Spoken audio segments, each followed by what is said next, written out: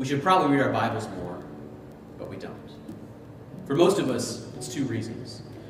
Either we don't have time, or it's really difficult. Sometimes it feels like there's just enough hours, there's not enough hours in the day, like there's not enough time. Or maybe when you read the Bible, you feel like it just doesn't make sense. Like there's just too much going on. This is not the world's easiest book. This is not green eggs and ham. The Bible was written over a thousand years ago in a completely different culture, in completely different languages. But still, we can read it and understand it. Look, this isn't instant.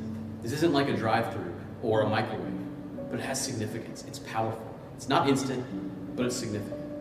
You should read your Bible. You should know your Bible because this is God's gift for you. This book is world shaping, is world changing, is history changing, and it can change your world. I guarantee if you spend time in this book, if you spend time praying to this God, if you spend time following Him, then your life will significantly change because God wants to have a relationship with you.